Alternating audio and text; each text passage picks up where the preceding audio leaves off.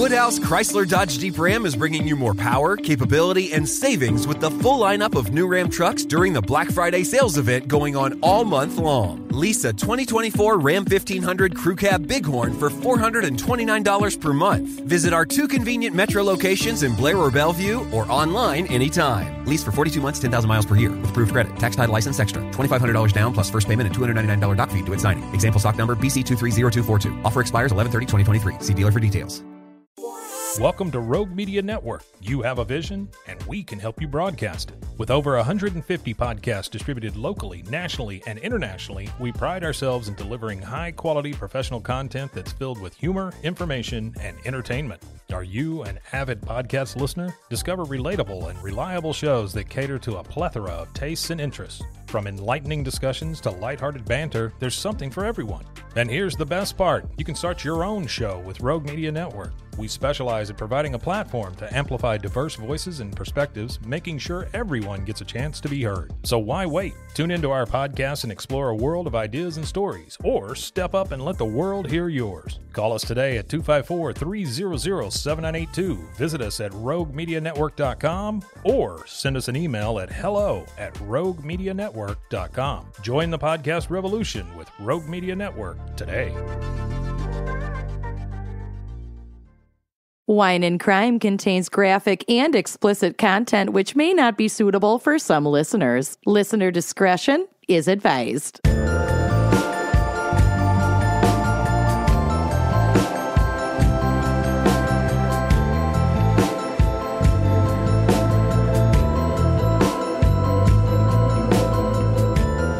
You are listening to Wine and Crime, the podcast where two friends chug wine, but not chat true crime, yes, and unleash their worst Minnesotan accents. Wow. Some kind of accent. Today's gonna be a today's gonna be a thick one. Oh, it's like molasses of the tip of the tongue. Ooh, like a crawfish in a butter boil. Hotter than a bucket of banana crowded ball.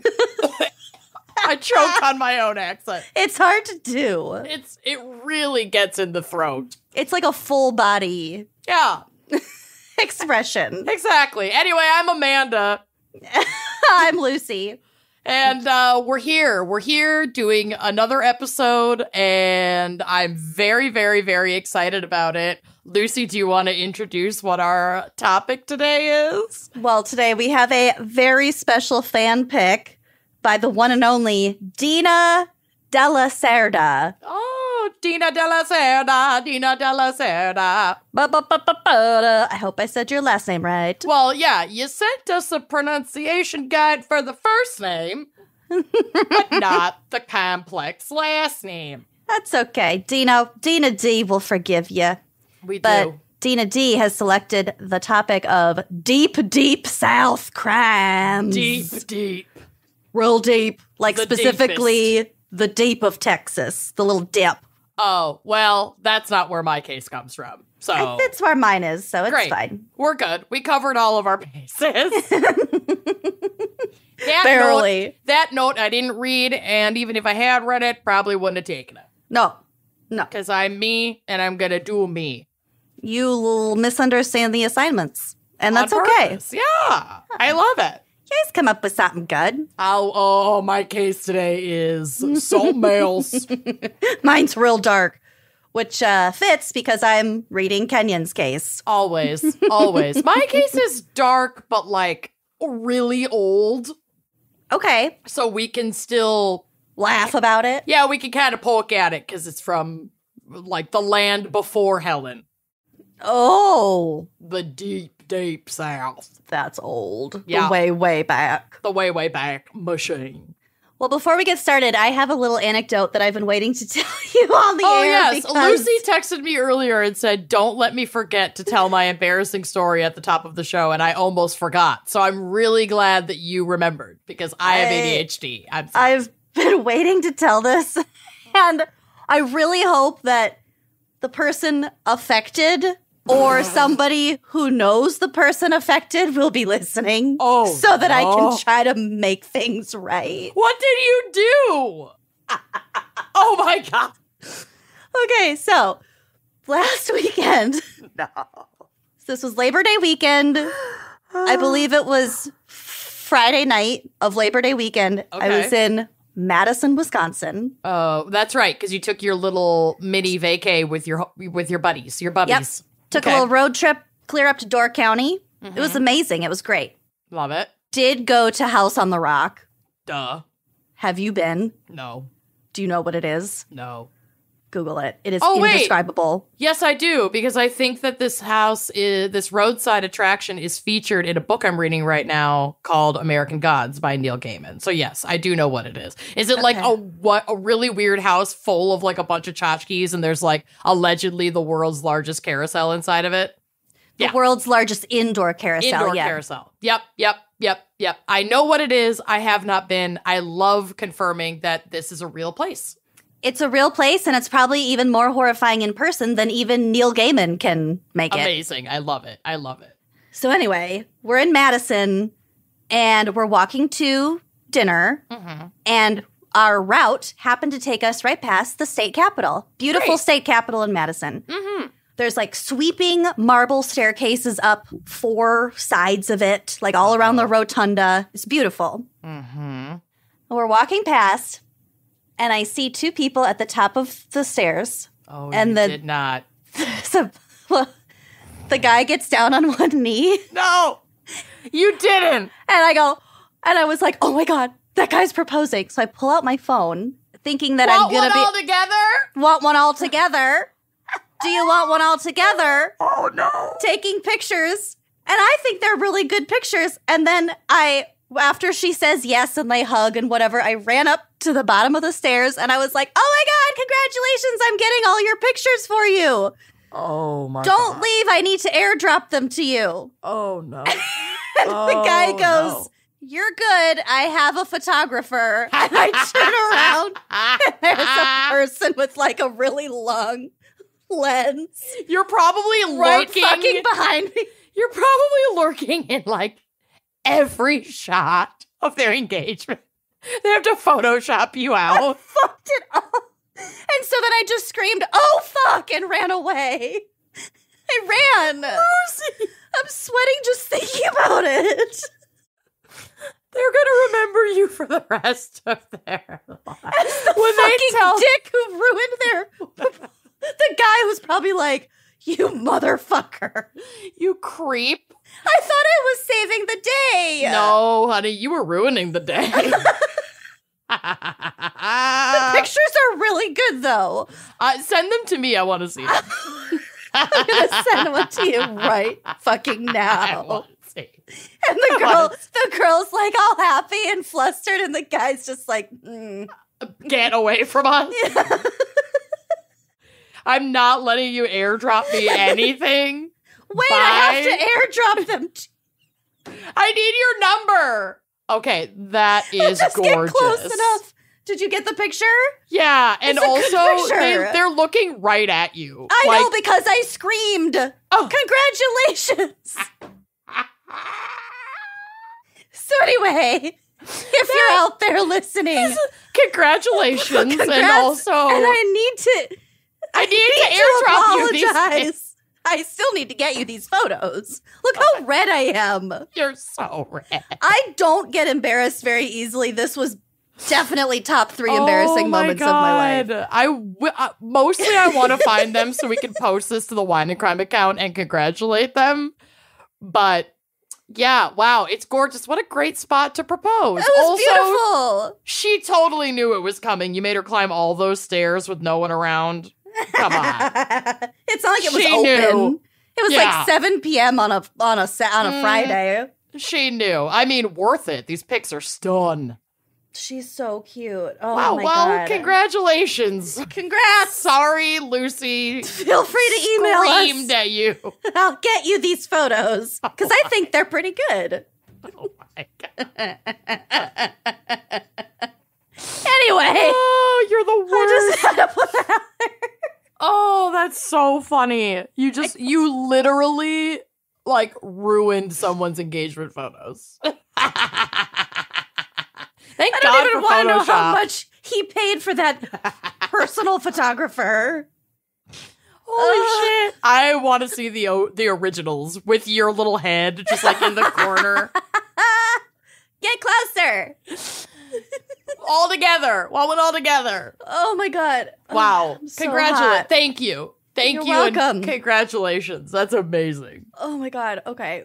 I gotta. I have to drink or something. Great. Then should we get to my wine and cr- wine crime pairing? Yes, for the love of God, yes. well, you might really need what Dina recommended after that experience.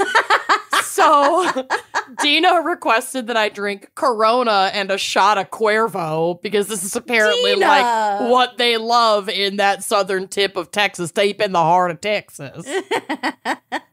I had Hornitos Reposado on my bar, so that's what I have a shot of. I was not about to go buy Jose Cuervo. no, you're To drink- 35 I'm 35 old. years old. It almost. was it wasn't happening. I'm sorry. so I have that. And I rarely ever drink beer, so I also did not run out and buy Corona, though I really could have just like bummed one from my future father-in-law. Shout out to Tom, because on the rare occasion that he does have a beer, he's a Corona man. He's That's his go-to. man. Ice cold Corona man. Well, Corona man. what he likes. He does. Corona man. I also popped a gummy, so this is gonna get weird. Oh fuck yeah. Tequila causes me severe physical pain. hmm and I poured a healthy shot. You're gonna take one for the team, baby. I'm gonna try. My mouth is already watering. ha. So I'm not gonna be able to find any of these tasting notes that I looked up, but like allegedly, this has tasting notes of balanced agave with apple. I'm smelling it. I'm sorry, with apple and herbal notes. And that it's slightly woody and is a medium to full bodied spirit with warm, slightly astringent finish. That's like a mouthwash word. Yeah, with that, like, the, the astringent component is probably all I'll be able to taste. Yeah. From here, it kind of smells like paint thinner. Do you want me to do a shot with you in solidarity? I kind of do. I'll help If you. if you're up for it. I'm up for it, baby. All right, do you need to go get one or do you have one? No, I'll go get it. I'll be so great. fast. You got a whole setup. You're smart. I didn't grab a chaser, but I'm too comfortable to get up, so we're just gonna do it. What? I got a cran pineapple juice back. That sounds so good. Okay, It's pretty good. here we go. To, to Dina and to the deep, deep south. Dina, you owe us. Just kidding. You've paid your dues.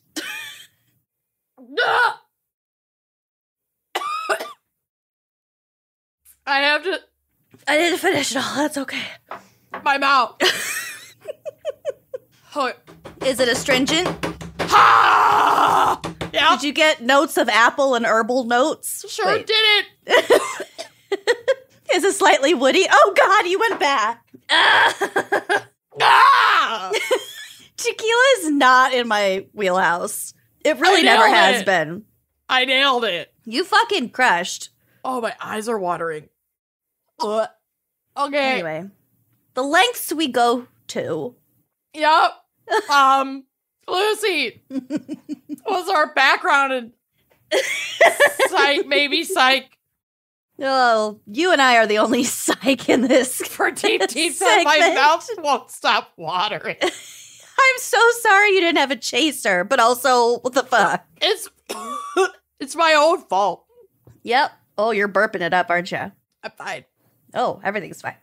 Oh God, I'm burping it. I don't even burp. Don't talk about it. okay. the Deep South, also known as the Lower South, is a cultural and geographic subregion in the southern United States. Oh, God. Most definitions include Louisiana, Mississippi, Alabama, Georgia, and South Carolina. Mm-hmm.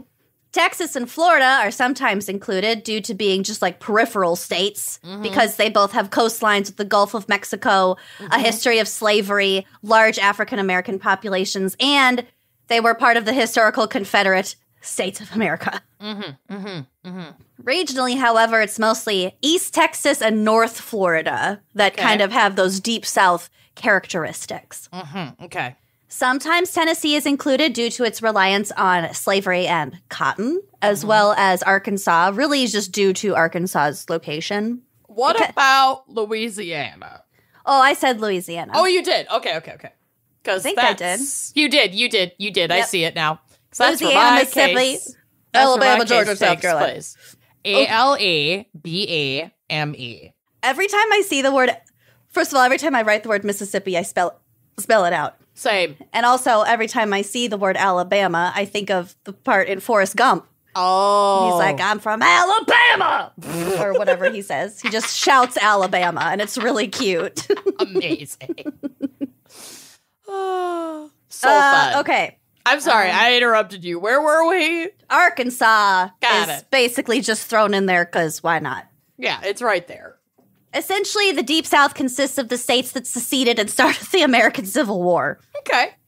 uh, because of their cul- cultural and economic reliance on slave labor. Mm-hmm. In fact, the term Deep South was first used to describe exactly that the states, the states most dependent on plantations and slavery prior to the Civil War. Mm. Although prior to the Civil War, they called it the Lower South, not really the mm-hmm. not really the Deep South. Mm-hmm. Following the war, the region suffered economic hardship, no shit, Yeah. and was a major site of racial tension during and after the Reconstruction era. Before 1945, the Deep South was often referred to as the Cotton Belt mm. or also the Black Belt, mm. Mm. since cotton was the primary cash crop for economic production. The civil rights movements in the 1950s and 60s helped to usher in a new era, sometimes referred to as the New South, because we love a good rebrand, Yeah. particularly love- in this case. We love a good whitewashing. God bless. Well, it's important that we not forget, but also crucial that we move forward. A thousand percent. The. New South. So that's really my background as far as the Deep South is concerned. Mm-hmm. Also, I intentionally kept this a little bit short because I'm pulling double duty today because I'm reading Kenyon's case too. Yep, But yep. before I get to that, I have some fun facts for us about the South in general. Okay. And this is from bestlifeonline.com. I love your fun facts. Also, does this mean there's no psych? There's no psych. Shh, where are your bones?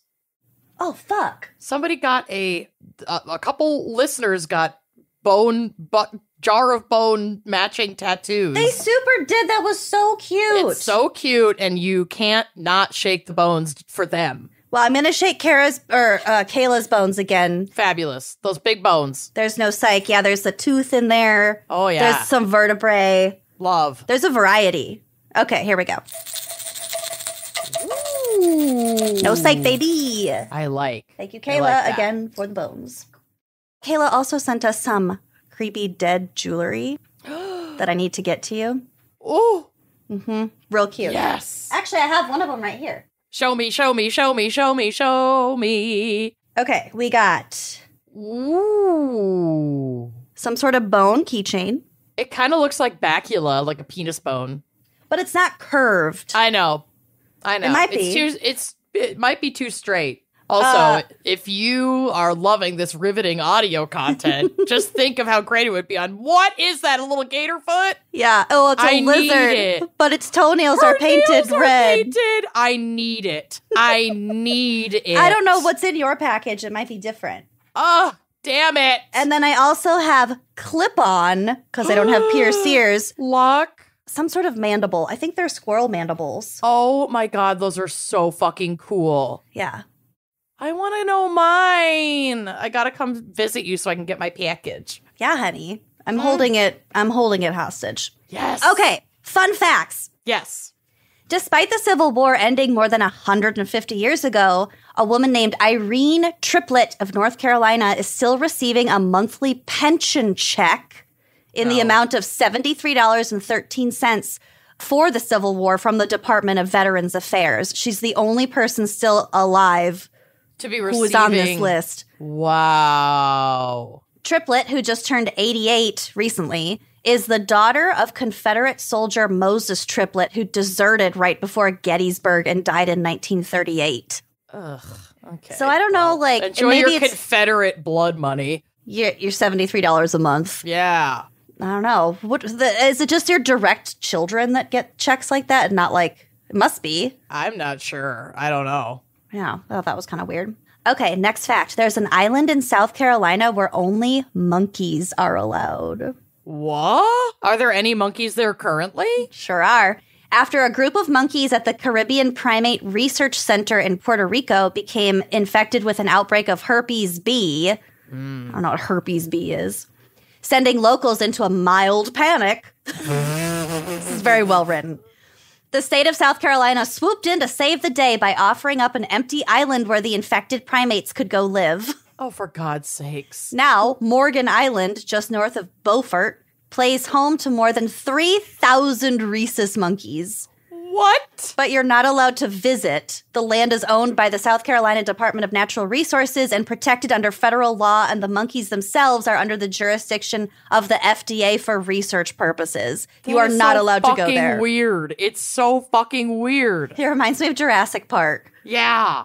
Also, like, I know they're all the same species, like rhesus monkeys, but given enough time, couldn't they make their own, like, weird mutations, like their own I mean, species? probably. I don't know. That's how evolution works. I don't know, but uh, hopefully someone's keeping an eye on that island. Maybe they develop a resistance to herpes B. Maybe. I wonder if they meant hepatitis B, because a lot of the stuff in this article was misspelled. Whatever. I, eh, I don't know. I'm gonna Google herpes B. the herp. Just one herpy. Nothing is coming up. herpes B virus. Macaque monkey CDC. Dot Oh. gov. Great. It's real. Herpes So- B, people. Yeah, it's a real thing. All right, next fact. If you're ever wondering where the Amish go on vacation, Uh, okay. Yes. they go they go to Pinecraft, a beach resort neighborhood in Sarasota, Florida. So for nearly a century, Amish families from all over the country travel down to Florida to get a taste of the sunny atmosphere. Most most are shuttled down in specialized charter buses, and the strict rules of the Amish community are loosened for the sake of a beach vacation. Wow, I was gonna say, they allowed to wear buttons, zippers. Probably. I, I have a photo on the drive Yes. of a bunch of Amish people standing on the beach. oh my And, like, god! It looks like the ladies still have their socks on. They still have Oh, their yeah. bonnets on. Oh the guys oh, yeah. are just hanging out with their pants rolled up. Oh, Oh, I think their so- the ladies' socks are off. Oh, I hope so. if so. you zoom in, it does not. They don't look socked. They don't look besocked. socked. Good, because socks on the beach suck. Socks on the beach. Come on, everybody. Come on, all you Amish. Socks on the beach. So fucking stupid. I, I don't know, know. really fucking dumb. okay, next fact. Until 2004, it was illegal to get a tattoo in the state of South Carolina. If that that that that should still be illegal. yep. Says Yep. the woman with the most tattoos. What? I didn't get any of them in South Carolina though. Not yet. Not you do love to get tattoos on vacation I really do. Not even on vacation, just like while traveling for any reason. for any reason. Any reason at all. Gators Okay. are pests. Yeah, gators are pests. Big old pests. Big old pests. Did you know that the world's largest drive-in restaurant is in Restaurants? Georgia? Restaurant. Wow. Drive- Like drive restaurant. in, like like where they wear the little Roller skates. Mm-hmm. little roller skates and bring a tray to your car. hmm Oh my stars! How cute is that? So the my sorry, land. my land, my Lanta. The Varsity Restaurant is an Atlanta staple as well as a world record holder. A Okay. hotspot for fast food since 1928, the world's largest drive in restaurant can accommodate around 600 cars Whoa, at one time. Whoa, So it's basically a big ass parking lot with a yeah. big ass like line kitchen. Wow, wow, wow, wow, wow, wow. hmm North Carolina holds the record for the most American Idol finalists from any state with three. Ah, that's so weird. I know. What the f?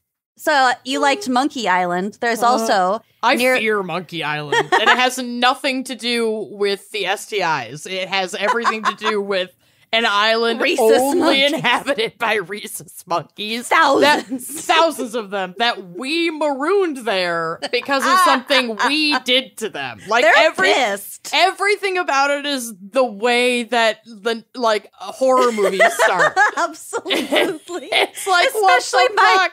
My inquiry as well to whether they could create their own species. You know they're gonna out of spite.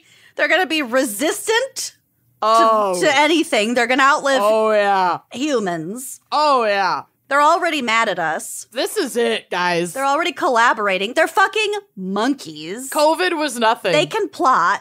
COVID was nothing compared to what we're in what we're in for here. Monkey apocalypse. Oh woof. Anyway, Well, anyway, now Next- that next you know that there's Monkey Island, there are also nearly 200 wild horses located on Cumberland Island off the coast of wild Georgia. Couldn't of- drag me over. Well, these ones probably could. They're wild and they roam freely around the island, which you can visit, but it's only open to a certain number of visitors per day, so you have to make reservations to go see it. Also, I don't know how eager I would be to visit Horse wild, Island. wild horse, very strong and probably somewhat reactionary wild horse island. I don't want to do any of these things. Why? Okay, keep going. The drive-in. The drive-in, I totally want to do. I definitely want to do that. There are there are things on this list you will want to do. Okay, okay, okay, okay. The next one is not one of them. Great. In June 2015, a bomb squad had to be dispatched to the University of Alabama. Roll Tide. oh, Ole Miss. Ole Miss. After a group of construction workers discovered Civil War era cannonballs under the sidewalk they were repairing. Ooh, we got balls, people. So a university spokesperson said at the time, quote, out of an abundance of caution, EOD technicians were called to address any safety issues. Fucking just in case. Cause Yeah. can you imagine? Well, were cannonballs like stuffed with like gunpowder and shit? I think so in some cases. Maybe not all of them, but okay. I didn't know if they just like were heavy balls. Which didn't wouldn't make as much sense. cannonballs contain. Civil War cannonballs. But the the squad ultimately recovered 10 total cannonballs. Damn. Yeah. Huh. What you? what are you finding? Oh, it looks like it. It looks like it. Because there's another. Oh, no. Uh-oh. Oh. This is from warhistoryonline.com, which sounds not legitimate as a source. no. But it's from April of 2020, and the article says Civil War cannonball exploded and and killed. I don't know how many or who. 140 years after it was fired. So I guess they can have explosives in them. They probably do have some sort of gunpowder in them cuz It would like make really sense. what good is just one big heavy ball Well, right. eh, You're more like you're going to cover more ground, you know, if it explodes? if it also explodes. Yeah. yeah. Okay. Huh. Look at us. So there there were both exploding shells and non-exploding cannonballs used during the Civil War. This USA Today, which I kind of I trust a lot more than World History worldhistory.gov. the, Heinz, the Heinz Ketchup History Center blog that also posts about it. what is the the internet's amazing. I've definitely cited like the spam website, Oh yeah. like canned meat spam. uh-huh. Eh, whatever. Those big corporations, they, They can hire fact have- checkers Yeah, they clearly have time. Too much time. and money. Mhm. Okay, you'll like this one. At one time, there was a bar on the Tennessee Georgia border. The Florida Georgia line. Kinda, except Tennessee, Georgia, and just Okay. the border. Okay. Patrick's Pub and Grill was located in both Copperhill, Tennessee and McCaysville, Georgia. Oh, it like the bar went oh like was half on state line, half on the Whoa, I like Yep. that. So if you wanted to drink, you could only drink it on one side because McCaysville is located in a dry county.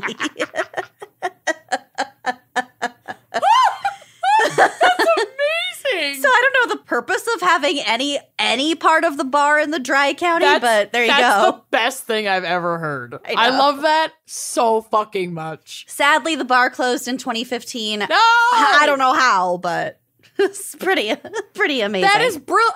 Yeah, how? Wow, bring it back.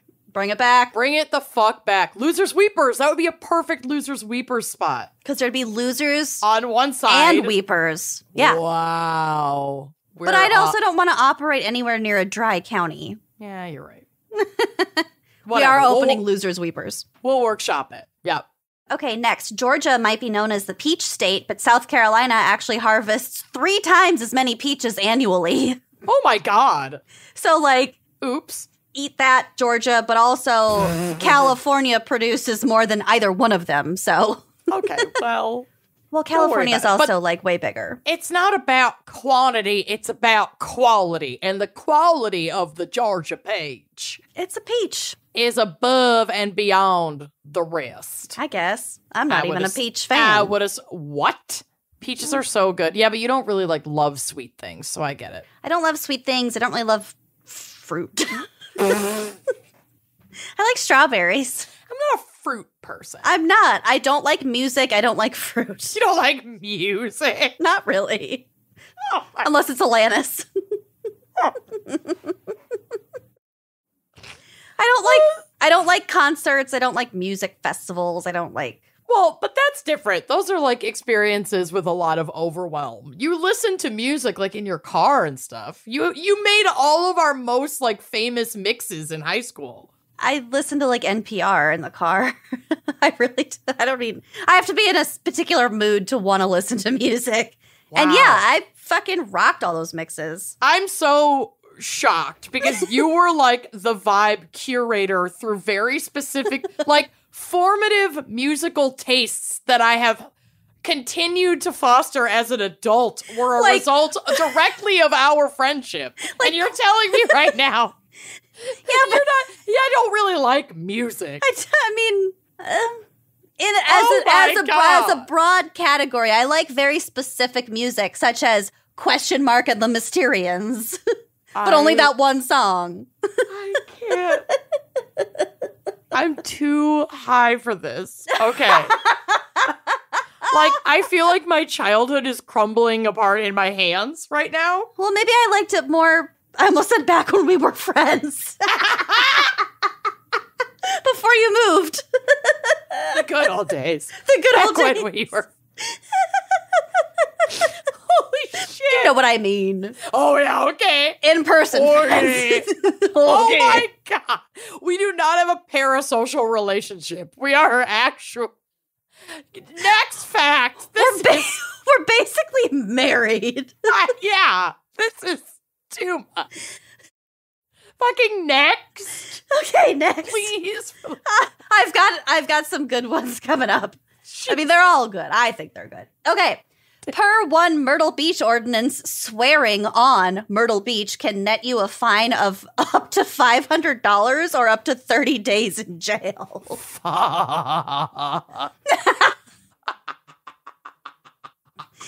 They like Uh-oh. rarely enforce it, but still, well, yeah, but if they really wanted to, they could. they definitely could. I Well, don't like it, that. It said they like add it on as like a charge if someone's being super disorderly. Okay, that makes sense. But still, 30 Not days 30 Don't days in jail that. for swearing on Myrtle Beach. Don't. Okay. d- Okay. don't love it. Okay. Do not. Do not love it. you'll like this one. Pe- Pesca Pascagoula, Mississippi. Pensacola, Mississippi, experienced a string of home invasions during the summer of 1942, but these weren't your normal B&Es. Oh, Instead of waking up to lost possessions, townspeople would find locks of their hair missing. Oh, Nicknamed the Phantom Barber, the intruder even once cut hair off of a sleeping six year old. What on earth? And they never caught the Phantom Barber. Ick. I know, isn't that gross? I hate that. I know. Oh my god. Something Okay. you'll love. You're great. I always get a new fucking fear with you. Now it's gonna be the Phantom Barber It's my life's mission. coming to my house. Well, at least it's not your hair. You can just call I Justin mean- and get it restored It's still mine. because you bought it. Yeah, I bought it. It Fine. legally belongs to me. It is legally mine. Oh my god. Okay, next. There's a next. There's a UFO welcome center in Bowman, South Carolina. Love that. South Carolina resident Jody Pen Pender, Pendarvis Okay. ha- has made it clear that his place is the place to be when the aliens finally visit. Finally. The unofficial welcome center is makeshift designed to look like two silver UFOs. There's a photo on the drive. so that they'll feel at home. They'll feel welcome. Inside one of the ships, Pendarvis has put a toilet, a shower, a television, and even air conditioning. Everything to make an extraterrestrial visitor feel welcomed. It's exactly what you it's two shitty looking silver UFO kind of shapes. I love it. And I is it still there? Like, is this a tourist attraction now? It is. You can visit it. The website said prices, like ticket prices vary, but they are never more than $20. Love it. Honestly, money is no object when it comes to the UFO visitor center. I'm I'm here. I just think it's it. funny that the owner like shifts the prices based on how inconvenienced he would be if someone showed up. Well, probably, or like how much change they have available in the till. If they like can't break a twenty, then your ticket is twenty dollars. I don't know what to tell you. I'm sorry. I love it. Absolutely. That's what I would do. Are you kidding me? Okay. This is another good one. You can find Stonewall Jackson's amputated left arm buried um, in Virginia. Buried. So, like, mm-hmm. if you look hard enough, you could find it, or they know where it is. No, it's like a grave. Oh. You could find his left arm buried in Virginia if you look hard enough. Oh my god. the way that was that was written. Give me a break. I, my dinner has been a weed gummy and a sh- giant shot of tequila. It's like a triple shot. The fact that I can understand a word you're saying is a miracle. I can't wait for your segment. Okay. Oh my god! So this You confed- could find it if you look hard. Wow. Oh, I can't! I can't stop crying. Why am I like this? My I don't know. brain makes no sense. Like, who would who would get that? I okay. I'm fine. Like you Who? could find it in Virginia if you had like a cadaver dog. If you had the time, if you had the time and resources to search for it, you could find it. Okay, let me explain this further for you. The Confederate general's left arm was amputated near Chancellorsville after he was accidentally shot by his own troops. You fucking idiot. He was a Confederate general. I don't give a Well, shit. Well, yeah, I don't give a shit. It's funny as hell. fucking friendly fire took him out. At the time, he lived, but his arm was laid to rest at the Ellwood Manor Cemetery. Fucking why? The rest of his body is buried more than a hundred miles away in Lexington, Virginia. What the fuck? Oh, you I hope that piece of shit hasn't rested a day in his afterlife because his arm is 400 miles away from the rest of his body. Why would they just. Jesus Oh, well, Christ! I can't hope for that because I have two arms right behind me, and I Not- don't know where the rest not- of her is. Not that that would be applicable to everyone. That it would just be applicable to him and other equally heinous people. Lori donated her body to science. There you go. So- Presumably. So she gets to be whole and happy in the afterlife. yeah, I also talk nice to her. Yeah. She's good. It's like talking to your plants to help them grow. she guards some of my plants. There you go. I don't know if you can see it in the background of this video, but she's guarding my Sure. plant at my window. I can't see it, but that doesn't mean it isn't there. Yeah, it's there. If you look hard enough. All right, I got you. I got more. Like you could find it? like a person could? I'm fine. God, you are a fucking gem. Okay. The deadliest natural disaster in U.S. history happened in Texas, Of course. and actually the deep, it was the election South. of Ted Cruz and so many casualties. so many casualties. it was ugly. fuck. FEMA comes in, They're handing out bottled water. paper towel. Those silver like blankets. the like space blankets. so fucking dumb. I'm sorry. After Ted Cruz gets elected, everyone's like shivering in the dark. Oh god. Oh my god. Okay, so the Great Galveston Storm of 1900 resulted Oh, no. in an estimated six to eight thousand deaths. It was a big old disaster after an unnamed hurricane wrecked the golf court. The go- Wow. the golf, course. court. Golf court. The golf course. The Gulf Coast. The golf. Wow, that's what you were trying. I was trying to say the Gulf Coast, and I said the golf course. Okay, I'm gonna speak directly to our listeners right fucking now. Stop having us take shots. this is absurd. I know, and The I'm golf so, court. So sweaty. Oh my god. So at the t- at the time, predictions had the storm going up the east coast, but it made a hard left and just slammed into Galveston, Oh my god. which sits on the barrier on a barrier island in the Gulf of Mexico. Mm.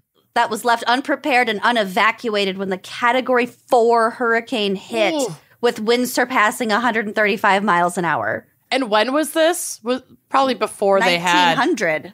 Yeah, so they didn't have like emergency alert systems obviously at that time. I don't know what they had, but that's the picture of the sideways house that you saw on the drive. Oh, no way. yeah, I it ruined oh, it. That's rough. Mm-hmm. And finally, my last but best fact Okay. the largest living cat lives in South Carolina.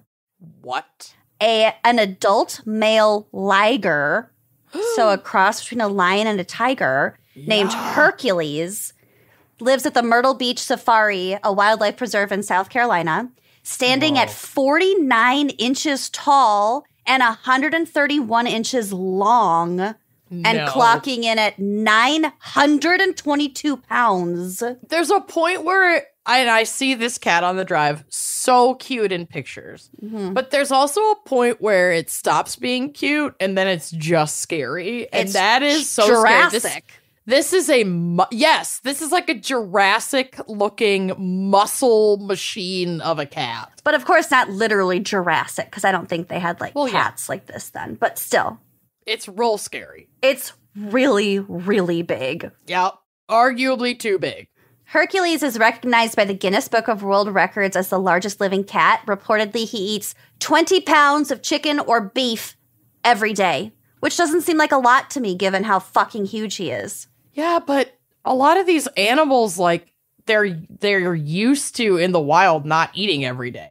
Mm-hmm. So if they if this is how much they're getting each day, they can't make them like fat. Like they have to, you know, and like you know, they can't Yeah. overfeed them because there's like serious health risks to these animals. Absolutely. But look so how fucking have to cute he ration it. is. That little close up of his big old fluff face is real cute. really fucking cute. I also saw like a graph that showed a comparison of lions and tigers and then ligers. And bears. Oh And ligers, I knew you were going to say that.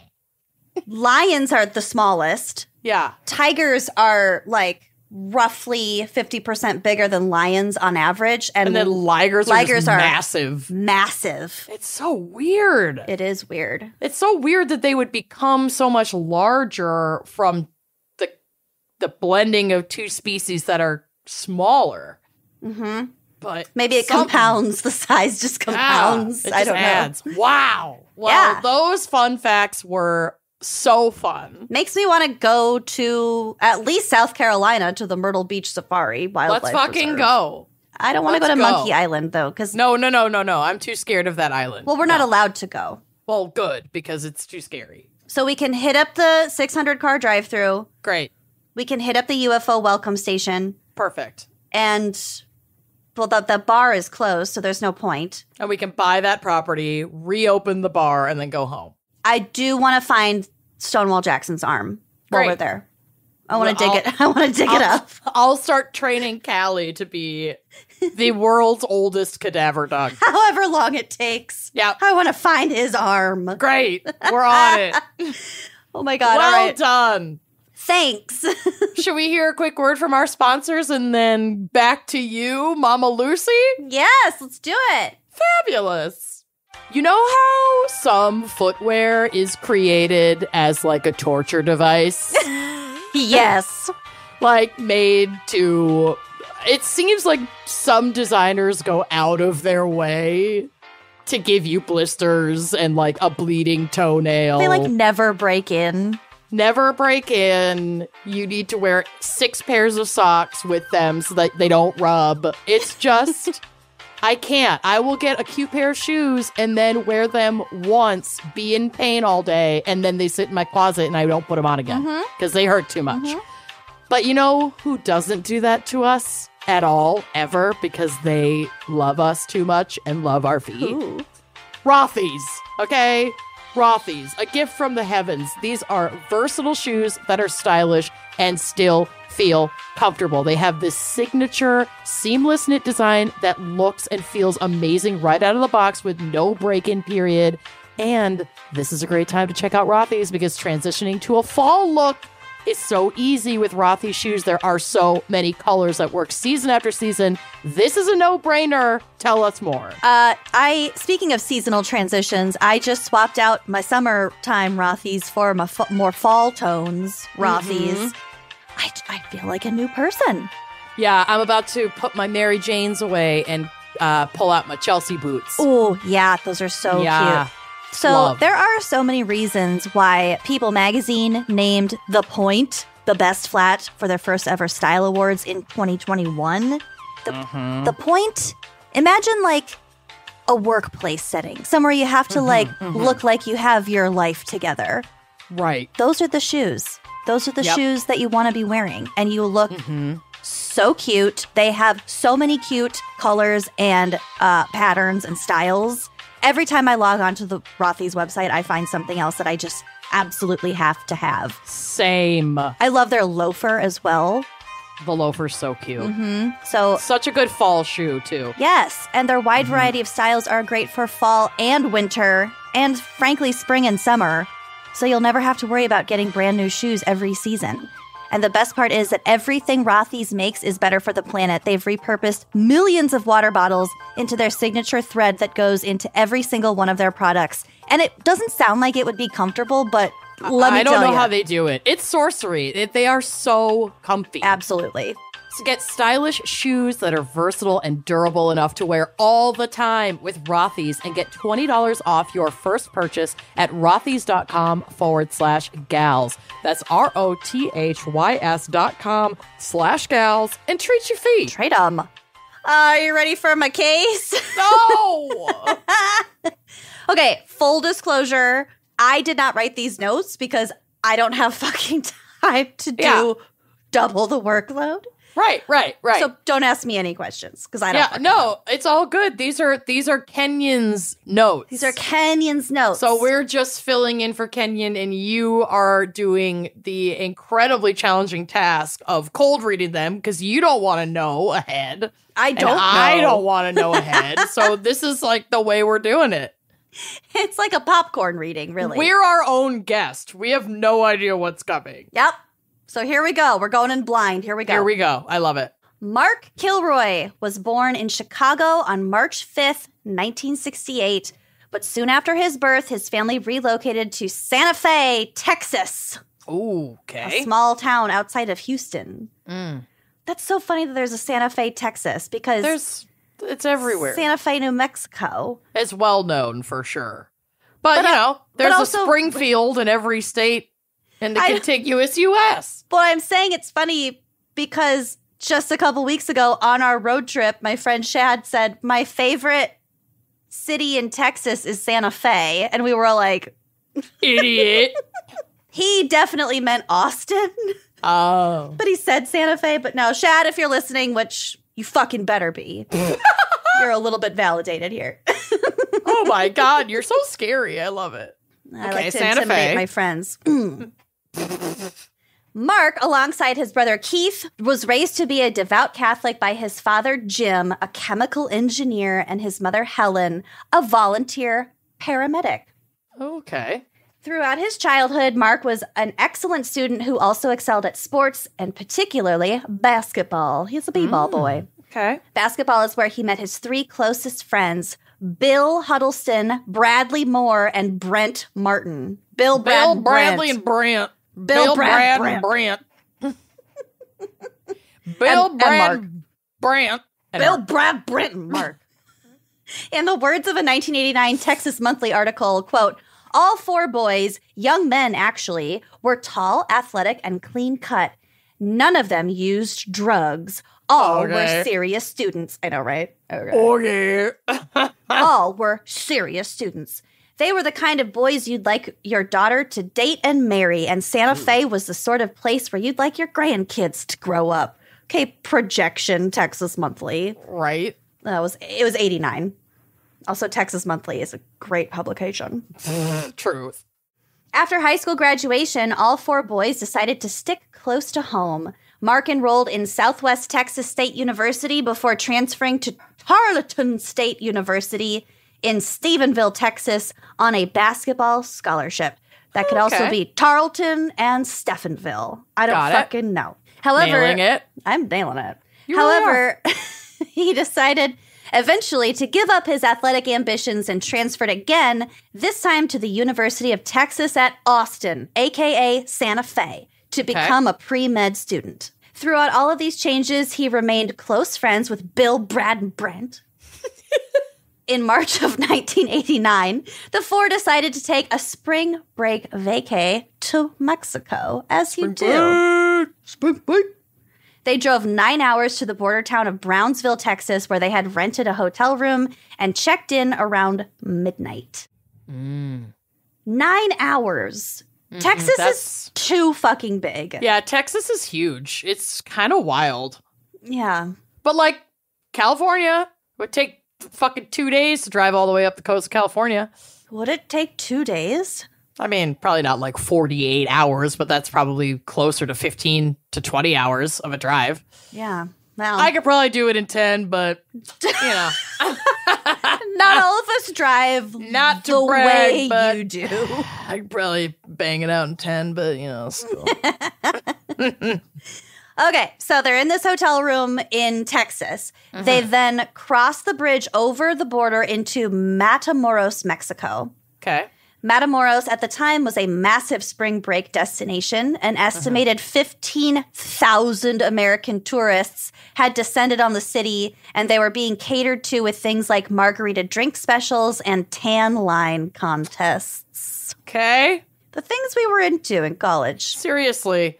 That night, the four friends partied until around 2:30 a.m. and then returned to their hotel without incident. So this is all in the same night. Okay. So far, so good. It's kind of chill. so far. Oh, God. The next day, they went to the beach during the day and planned to have a similar evening of partying with fellow spring breakers, tan lines, margarita specials, etc. Mm-hmm. And at first, they did. But when it came time to head back home, things took a turn for the terrifying. Oh, no. The four young men were on their way back to the car when they stopped to pee. The next Never, thing they never pee. Never meet a man, never Never pee. meet a man and never pee. it's my advice. The next thing they knew, Mark was nowhere to be found. Oh, shit. After spending some time searching the streets for their friend, Bill, Brad, and Brent decided that he must have either met up with someone and gone to another bar or just went back to the hotel without them. Right. So I don't know if they were just like peeing on the side of the road, like in a rural must- area, or they like they stopped at a like a gas station Oh, or something. Oh, okay. Okay. Yeah. Yeah, I don't know. So Bill, Brad, and Brent went back to the hotel and fell asleep. But when Mark was still not there when they woke up the next morning, their concern turned to panic. They called the police to report their friend missing and tried to piece together their fuzzy memories of when exactly they had last seen Mark. Because again, you're out partying. Right. You're drinking. Your timeline's going to get all foggy. Yeah, exactly. I get it. One of them remembered Mark stopping to talk to a woman from the tan line contest Mm, hot. as they made their way back to the car, while another remembered a Hispanic man with a scar on his face approaching Mark and saying something along the lines of, Didn't I just see you somewhere? or Where did I last see you? Some sort of like inquisition. Neither recollection provided much to go on. And besides, police were not initially very concerned about Mark's disappearance, probably because, like, college boys, spring break, he probably just got Yeah. drunk and went home with someone and Right. and it's you know that's that's not in the age of cell phones Right. so Right. Right. How are you gonna even really vet this? yeah so the cops were like mm, okay and probably also didn't help that half of this shit happened in mexico and half of it happened in texas Yeah, that's tough. Mm-hmm. college students who had been reported missing from matamoros in the past would often turn up within a day or two usually with hangovers but essentially unharmed Yeah, it kind of sounds like a Tijuana adjacent situation. absolutely Like you can go right over the border, you get hammered. It's like a, it's and like then you a, can go home yeah, and then you just go home the next day. It's like a bachelor paradise. Yeah. Or even just like a like a fucking Friday night thing for people who live close Yep. to there. They, I'm Yeah. sure the cops deal with that shit all the time. Mm-hmm. But as the days passed with no sign of Mark, it became to seem more likely that something more sinister had occurred. Mm-hmm. His parents distributed 20,000 leaflets in the area and offered a $15,000 reward for any information leading to the recovery of their son. It would not be discovered to what happened to Mark until a month after his disappearance, and the truth was far worse than anything his loved ones could have possibly imagined in their worst nightmares. Oh God. So I actually do know what happened to this guy, and it's really ugly, so buckle up. Oh. The discovery of Mark's whereabouts came about almost accidentally. On the afternoon of April, uh, this says April 1st. I think Nailed it's it. April 11th. Okay. Mexican police had set up a routine roadblock as part of their ongoing drug enforcement operations. When a car blew through the roadblock at a high speed, they chased it, followed it to a ranch property outside of Matamoros called the Santa Elena. It's the name of the property. Suspecting that the ranch was being used by a drug cartel, they decided to gather more information rather than going in immediately and risk getting like ambushed. Okay. They learned that the driver of the car who had blown through the roadblock was 20 year old Serafin Hernandez Garcia, the nephew of Elio Hernandez Garcia, a local drug kingpin. Hmm. So this was like a protected cartel person. Mm-hmm. Police raided the ranch on April 9th. Oh, okay. So that was probably April 1st then Yeah. when he blew through. April April 1st. Okay. Got it. Police raided the ranch on April 9th and discovered 75 pounds of marijuana. That's a lot of marijuana. It's an awful lot of marijuana. Yeah. They arrested Serafin, Elio, and three others, including the ranch's caretaker. As it was suspected that the drug cartel had been involved with Mark Kilroy's disappearance, the prisoners were questioned about Mark. Uh huh. When shown Mark's photograph, the ranch's caretaker told police that he did indeed recognize him and that he had seen him on the ranch, handcuffed in the back of an SUV. Uh oh. That's not good. Not great. You don't want to be handcuffed by the cartel. You don't want to be handcuffed in the back of an SUV. Period. Full stop. You just don't. You don't want to be handcuffed. Well, No. some people Well. do. It's, it depends. Under interrogation. God, we're fucking losers. I know. Uh. One of Corey's friends like moonlights as a bounty hunter, and he has a pair of real handcuffs, and he yeah. and he put them on me, and I just pulled my wrist out because I have such baby hands. They're so teensy. and he was like, "Oh, Well, these Do are I need a useless. child's handcuffs to deal with people like you?" I was like, Probably. Maybe. Didn't even hurt that bad. I just pulled him out. Oh, God. Anyway, perks of having really dainty wrists. Tiny bird wrists. I can't be contained I can't. No one puts tiny wrists in a corner. in a corner. So fucking dumb. Okay. Under interrogation, Serafin Hernandez Garcia and Elio Hernandez Garcia, so the the the son and the uncle, mm-hmm. admitted that they had kidnapped and ritually sacrificed Mark Kilroy. Oh, no. Serafin told police he had been the one to bury Kilroy's body. Police also learned during these interrogations that Kilroy had been had only been one of many people killed on the ranch in the preceding months, all supposedly on the orders of a man named Adolfo Constanzo. Who was a drug trafficker who had been operating a cult from the ranch property and instructing the Hernandez family and their associates to carry out human sacrifices in order to ensure success in their drug deals and protection from the police. Yeah, yeah. I feel like I've heard of this guy. I think we've covered him before in a live show. I don't know if we have. I feel like he's in uh there's a book we got, I think from Spotify for one of our The podcast one? buddies. Yes, I think that they talk about this guy Mm. in that book because I vaguely remember reading about this and I read it a while back. So it's, It's- possible that it's in, from in there. It's really fucking ugly. Yeah, it's gnarly. Uh, I will get to some points that will jog your memory. Yeah, yeah, yeah, yeah, yeah. Okay. So Uh, Constanzo, along with his devoted disciple and sometimes second in command, a 24 year old college student named Sara Aldrete, Aldrete, had managed to flee the ranch. Police transported their prisoners back to the ranch and ordered them at gunpoint to dig up the bodies they had buried. ooh. In total, there were 15 people buried in shallow graves on the property. Holy shit, that's a lot of people. They had either been burned, shot, or hacked to death with a machete. Oh my god. This is a Kenyan case. Jesus Christ. Yeah, that is that's a lot. Gets worse just from a cursory scan of the rest of these notes. Good. Good, good, good, good, good, good, good stuff. Yeah. Serafin Hernandez located Kilroy's grave by a piece of wire sticking out of the ground. he explained to police that the other end of the wire had been mm, had been attached to Kilroy's spinal column Oh, so that it would be easy to pull his vertebrae out of the ground after his body decomposed to make into a necklace oh my god. or earrings. no, Lucy. I just got done showing off my mandible earrings. I had to. Holy shit. It's so fucking bad. When the police commander noticed that Kilroy's legs had been chopped off, he inquired uh, if this had also been for some ritualistic purpose. Serafin stated that no, it had simply made him easier to bury. oh, this makes me like want to borf. hmm Even more gruesome discoveries followed. Take a deep breath. Great.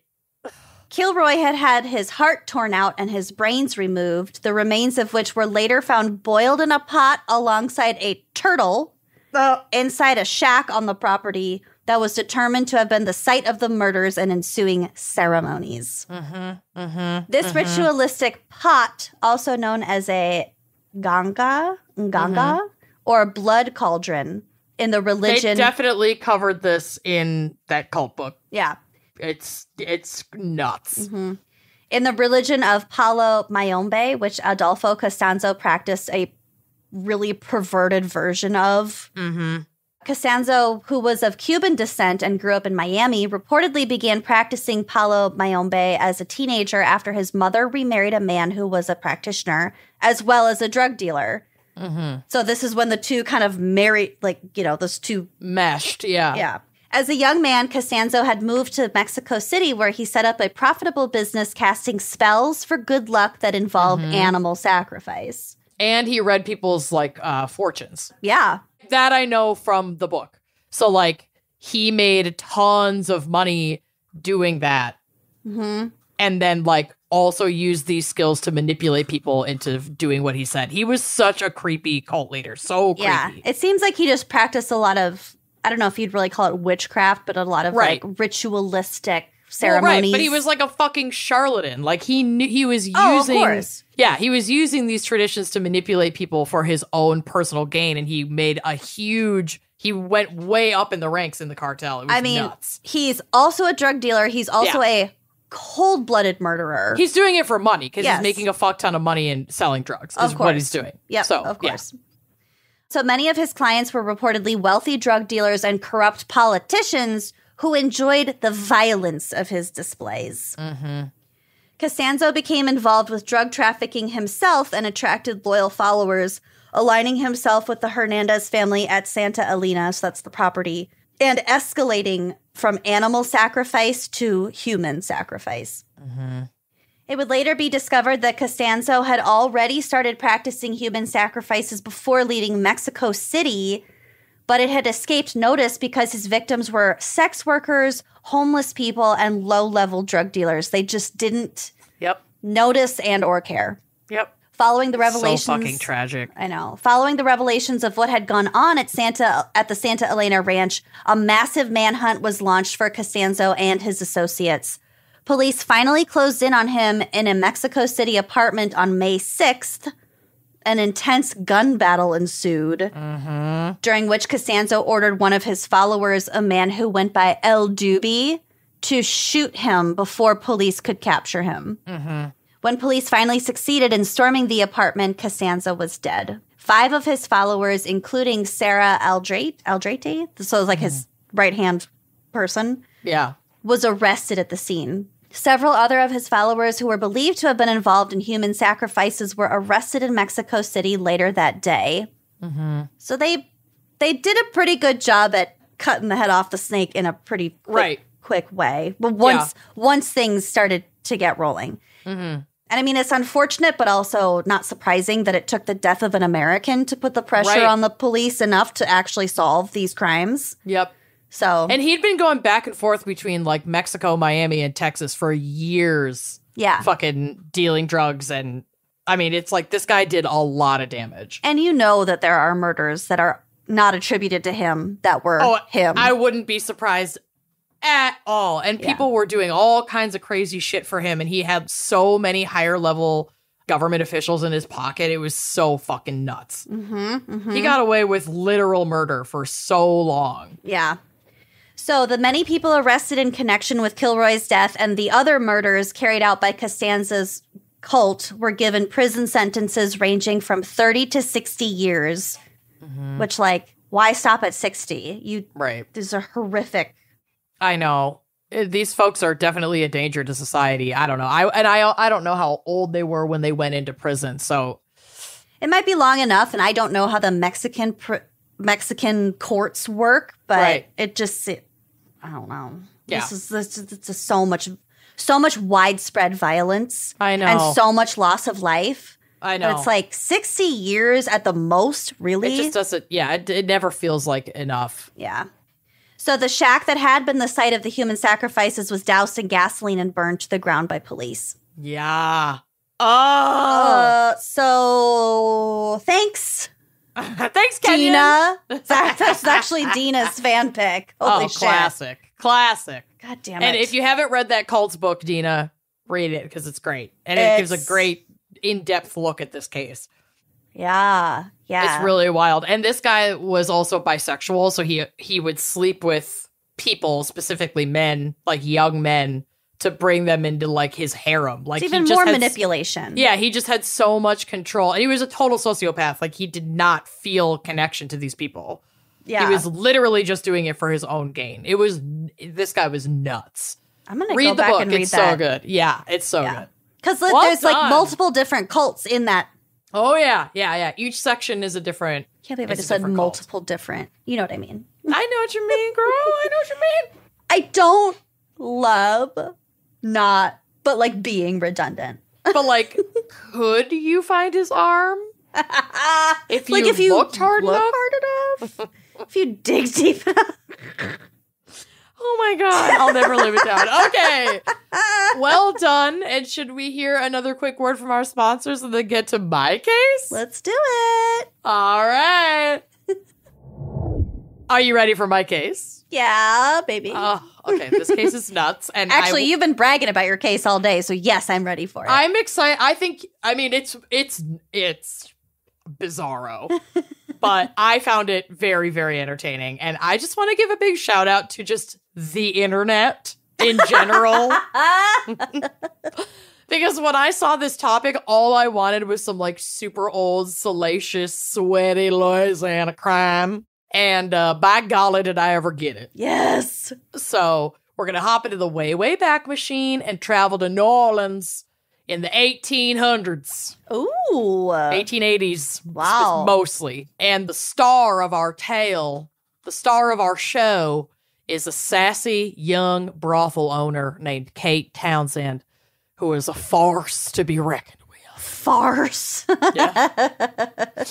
Uh, we don't need to like her. She's not a good person. okay.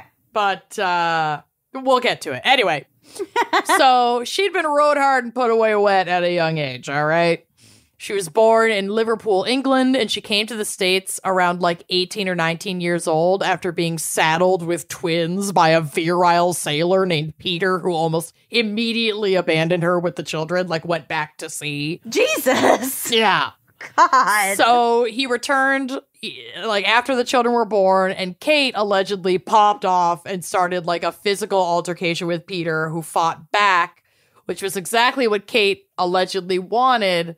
And then so she went to the cops and he got 6 months in jail and I think would have been like granted a divorce.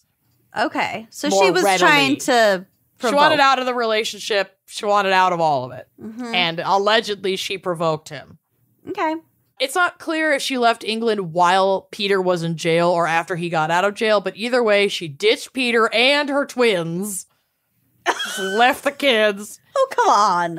Uh, hey, hey, it's hard to be 18 or 19 with twins and just wanting to live your own Oh, life. yeah, I guess she was really young. Yeah. Like, can you super blame her? Mm, No. No, That- me, that's no, a lot. personally, Yeah, that's a lot. not. It's a lot to take Bye on. bye. Yeah, but later I'm going to I'm going to the U.S. as she settled in New Orleans in 1857. So she's young, she's unmarried, she's a woman. Well, she's divorced. Well, she's Yeah, she's unmarried, yeah. and so her ability to support herself is limited. Basically, your only option is like sex work or get married to someone who can support you. So she wasn't married to the sailor. No, neither. I think she had been granted a divorce or she just left him. But Yeah, in the okay. as far as as far as like the United States is concerned, she had like changed her last name. She is there as an unmarried, un untrodden woman. Got it. So she didn't have the Scarlet D. No, at this point, no. Okay. Her ability to support herself was super limited, and she did go into sex work and found herself under the employ of a brothel run by a woman named Clara Fisher. She remained there for about six months before moving on, first working like a beat on Canal Street. Like she worked in different row houses Mhm. on that block. Um, and then eventually went to work for another madam in a more established brothel, a woman named Maggie Thompson. And she stayed there for several years and was like doing really well and able to support herself. So, in a time when body shaming was so overt that being a large woman with tig old bitties was literally seen as a deformity. A luscious deformity. Yeah, I know. God. But Kate, like, made a splash on the streets as an unapologetically large breasted, full figured woman. Oh, that's what you said when I said your boobs look really good today. Yup. Which they do. We'll get to it. Your deformities look amazing. My deformity today. is really coming in hot today. yeah. So this is a quote about her from a newspaper from way back in the 1860s or 70s at this point. Says, quote, Kate was a very portly woman and attracted general attention on the street. As she became older, she became afflicted with what was probably a deformity, a voluptuous bust which never failed to provoke astonishment in those who chanced to meet her. Okay. I smell some jealousy, but whatever. I smell some misogyny for sure. Well, yeah.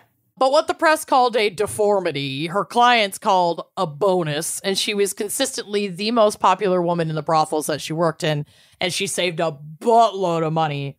Eventually, being able to leave Maggie Thompson's employ and open a brothel over, sorry, tequila. Oh my God. How's it taste? So bad. oh, okay. I'm fine. I'm recovering. You got this. I'm fine. So she opened a brothel of her own in 1863. An So entrepreneur. Yep. She is a boss bitch. Women helping women. Love it. Love it. Love it. Her place was the fucking Ritz Carlton of brothels. Yes. Like decked out floor to ceiling velvet, like fancy lighting and sconces. Yep. Oh, Yeah. why did we Yeah. both just say that? we can picture a brothel. Chandeliers, Uh, yeah, it was sweeping like, staircases. Tons, tons of money went into this place. Nice. Lots And of had- like maroon. Oh yeah. Yeah. And she had clients who were political higher ups and also in law enforcement. So she was able to use every single one of those connections to build the most lavish and exclusive brothel in New Orleans. So she also took a lover around this time, a man named Troyville or Billy Egbert Sykes. Let's go with Billy. Yeah. Troyville. Troyville Redenbacher, Billy Sykes.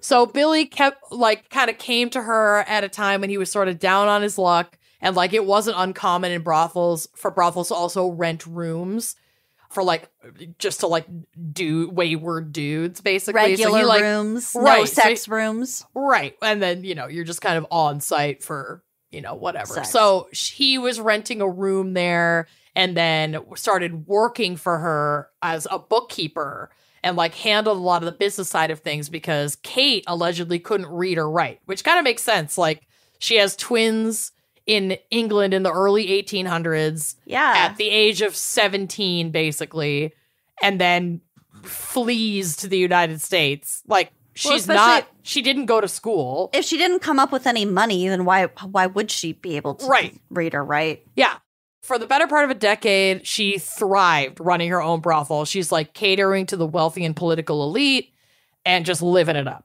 but political reigns come to an end and like a bunch of the high status clients who used to frequent her establishment began to move on like maybe they were out of office and you know whatever retiring etc so uh, long story short business is dwindling.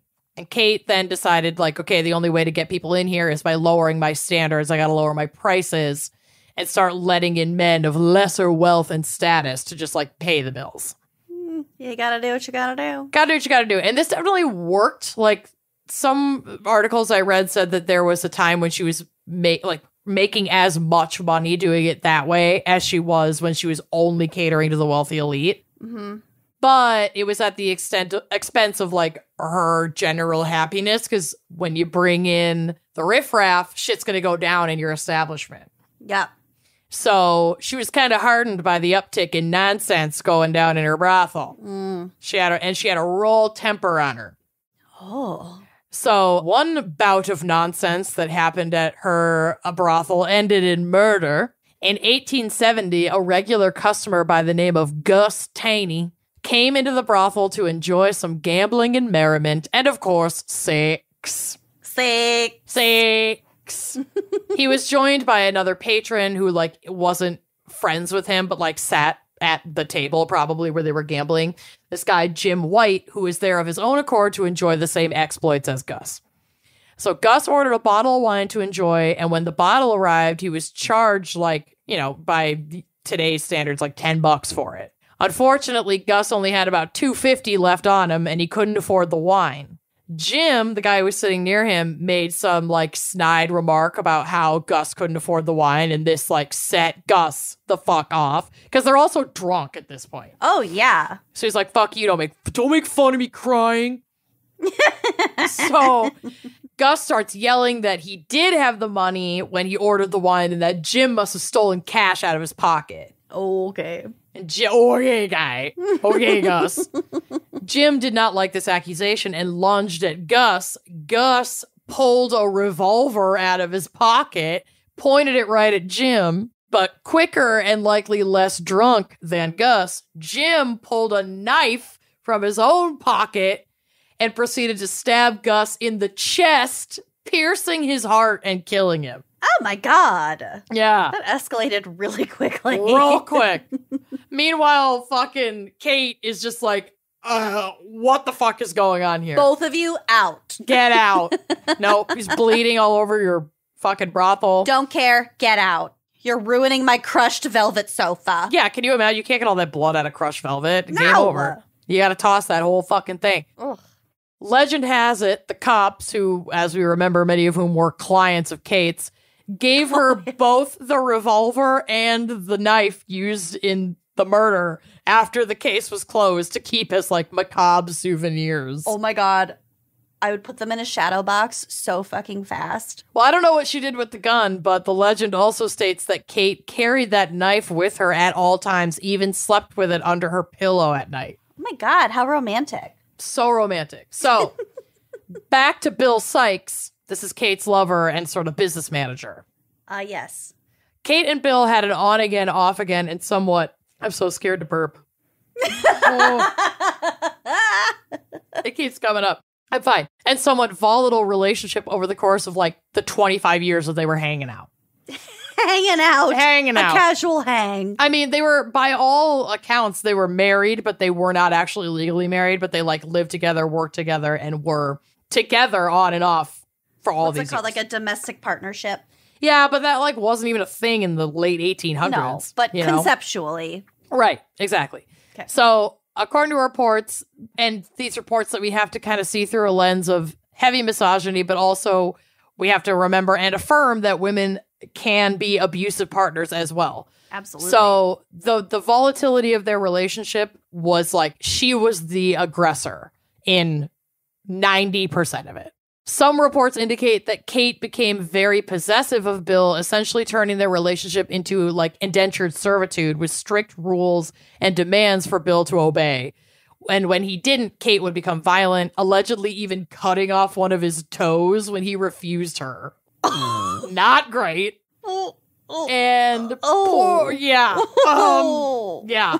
Poor Bill also likely had some Stockholm syndrome because Kate would have like relations with other men and Bill would get extremely jealous. Well, she was a sex worker. Well, he yeah. what he was signing up for. But I think she also had like boyfriends. Like oh. outside of her job. Emotional well, and at that point, she's the madam, so she's not even taking clients in that way anymore. Yeah, but if they've been together for 25 years, He, yeah, then And- she was certainly it- taking clients. if it's just sex, right. like There's just he a lot knew of what it- he was signing up for. But if it's if it's There's a lot of issues in this relationship. Yeah, I'm, I'm not. I yeah, I'm not even gonna try to It's parse not- what the fuck's going on here. It's not good. And No. I also believe that there was some violence on both sides Mm. in in this relationship and that's not to say that doesn't like you know reverse the harm it just compounds it like there's just a lot of violence in this relationship yeah. so one of these men that she was having a relationship with went by McClern. I think that was just his last name, and that's how it showed up in reports. I never saw first name. Okay. The two struck up a romance around 1883 when he came into her brothel, also looking for a room to rent. Bill was soups not into this and wanted to kick this guy out of the house because they started hooking up. But Kate refused to kick him out, and instead, both her and McClern ganged up on Bill and like beat the shit out of him. Kate was pissed that Bill was getting in the way of her affairs and complained to a friend that she wanted to kill him. Her friend, a woman named Molly, attempted to talk her out of this, and the two went out for a drink. Like, that's a good friend right there. Molly's like, You don't want to kill your pseudo husband. Don't kill your husband. Just Let's come out go get a drink. quick Yep. Cosmo with the Let's go have a. Cosmo and talk about it. Let's go to the tavern. You don't have to go down this road. So the two were getting a little drunk when McClure showed up at the bar and started shit with Kate. He broke a champagne bottle and threatened her with it, and she pulled her trusty knife from her bosom and threatened him right back, and he The backed down. The, The knife. knife. She's got a knife. so he backed down, but allegedly Kate was so fired up and she said, quote, I gotta cut somebody. It's like she was just blue balled for the violence. Yes. She's like, I got, I, I, I gotta I, cut something. I have to cut somebody. I can't do this. So I've already got the knife out. What am I supposed to out. do now? Put it it's away? fucking out. Yeah. I can't go back now. so she headed home to confront Bill, who was back at the house. Oh, good. Molly, the good friend, Molly deserves an uh, like some kind of award, an Oscar for trying to be a, A Nobel friend. Peace Prize. Yeah. She managed to like beat Kate home and warn Bill that Kate was on a rampage. And like, Bill was like, oh, fuck. And he locked himself in his room. Kate did the same thing in her own room and allegedly slept off a hangover for about three days. Been Oh. there. this is 30. Yeah. So a few days after the altercation, when he thought everyone had sobered up, calmed down, Bill goes to Kate's room to talk. Shortly after, the housekeeper hears screams coming from Kate's bedroom and runs to see what's wrong and finds Bill and Kate fighting. I think the housekeeper kind of like ran in to try and break it up, and Bill pushed her out of the room and locked the door. So this leaves the housekeeper, I think her name was Mary, in the hallway, just like listening to the commotion that's continuing inside of this room. Oh my god, that'd be horrible. Yeah, really stressful. So about 10 minutes later, the door opens again and there's Bill in the doorway, like cut, t- clothes torn to shreds. He's bleeding. He's got blood all over him that's clearly not from his own wounds. And Kate is bloody on the floor behind him. Uh oh. Dead as a doornail. Oh, she's dead. She was the oldest living Lutheran, but now she's dead as a doornail. Killed with her own ex lover's knife. Yeah. So police were called and Bill waited at the scene patiently to be apprehended. Like he knew there was a witness, he knew what he was getting. So at trial, he swore that he killed Kate in self defense. Easily him- provable, I would think. Well, yeah, I mean, it's also the late 1800s, but it's still fairly provable. And I actually kind of believe his story given the circumstances, but like, it's all bad. yeah. So, according to him, the two were fighting and she pulled the knife that she kept under her pillow on him. So they were in Kate's bedroom. They were in Kate's bedroom. He confronted her about like McLaren or whatever, her their their altercation from a few nights before. she's like, fuck off, I'm still hungover. Slash, slash, slash. Probably. Well, she had come home drunk from the bar wanting to kill him, and now he's like, bitch, Mhm. what the fuck was that all about? And she is probably like, well, I never got to cut anybody. I still want to do it. Pulls the pill, the fucking knife out from under the pillow. He manages to Oh, wrestle the knife God. away from her, but then she grabbed a big ass pair of sewing shears and goes after him again. She's got like scissors in her room. From the bay after you cut off your own hair? Probably. so his torn up clothes that like the housekeeper was able to confirm, and also wounds on like his face and hands did support that he was attacked or something sharp. Mm-hmm. When she came at him with the scissors and wouldn't stop, he stabbed her. So he ended up stabbing her eleven times to get her like get get the fuck off of me. He's just like jabbing at her. Yeah. He was acquitted of all charges at trial, and in an interesting twist, he had also been named as the recipient of Kate's estate in her will because they'd been together for like 25 fucking years. Uh oh. And he was not, you know, convicted of murder. And so he still was able to get her estate, which was like pretty fucking big. Well, so- she owned that whole Ritz Yeah. Carlton brothel. Yeah. So this is a quote. I'll finish out with this from uh, familyresearch.org. Somebody through like Ancestry like wrote a, a blog about this woman basically. They said, quote, it was amended, the will, to probate with Bill Sykes as the executor, but he was removed in February of 1884 for pocketing money that was supposed to go to the estate. So if he hadn't fucked up and like gotten greedy and taken more than was actually allocated to him, He would have probably yeah, had a pretty good living to carry him out for a while. Oh no. At the time, the state attorney general asked the courts to reduce Bill's claim to Kate's money to only 10% of the entire estate, since he and Kate lived together but had never been married, and that was a law that was in force at the time. Bill Sykes fought the judgment against him in every court in Louisiana, but eventually lost. The estate was settled in 1888, and by the time the state managed to steal everything good from the estate, it was valued at only $33,142.65 of which the lawyers got about 30,000 to pay themselves and the rest went to the court costs and other expenses. In the end, Bill Sykes, Kate's killer, ended up with $34 from the estate. Enough to pay for that wine. And that's my case. 34 bucks. Can you believe? Oh my god. Well, if we were to believe him, it's not like he killed her for her money. Right. No, he didn't. He killed her because she was attacking him with scissors and had threatened to basically cut him open three days prior in a drunken rage. $34. I gotta stab somebody. I won't Wow. That's amazing. rest. Is that nuts? Nice job. Thank you. It's also so old that like a lot of it's probably folklore by now, but I was Doesn't matter. all I'll take in. it. Who gives a fuck? Who gives a fuck? I love Who it. gives a fuck? I love it so much. Oh. so thank you. Uh, Well, good job to you, and thank you also to Dina De La Cerda. oh, God this was bless. a fun topic. So fun. We didn't do as many southern accents as I was anticipating. Well, after the absolutely abominable pairing that Dina forced down my throat, I really and the gummy that I took, I had to force myself to concentrate hard enough just to read. And the thought of also concentrating on an accent was a little too much for old Mandy. I had a lot on my plate. I had so much. I am. I am encumbered. I am encumbered, y'all.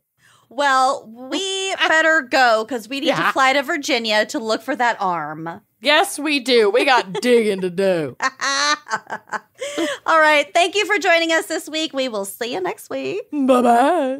Thanks for listening to Wine and Crime. Our cover art is by Kala Yip, music by Phil Young and Corey Wendell, editing by Jonathan Camp. Check out our website and blog at wineandcrimepodcast.com. You can also follow us on Facebook, Twitter, and Instagram at Wine and Crime Pod. If you have questions, answers, or recommendations to share, email us at wineandcrimepodcast at gmail.com. Episodes are available on Apple Podcasts, Stitcher, Google Play, basically wherever you get your favorite podcasts. And if you like the show, please rate, review, and subscribe on Apple Podcasts. It is the best way to spread the word. If you'd like to show your support, visit our Patreon page to keep this podcast and the wine flowing. Cheers.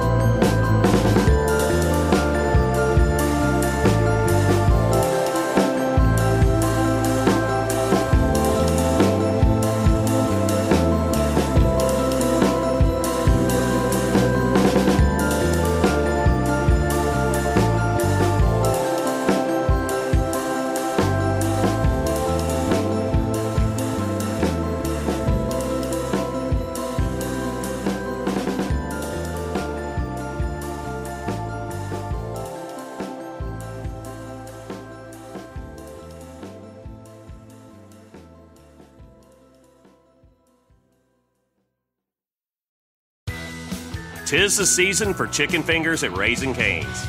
Warm up with hand battered, cooked to order chicken fingers, crispy crinkle cut fries, garlicky buttered Texas toast, and the real source of holiday magic, cane sauce.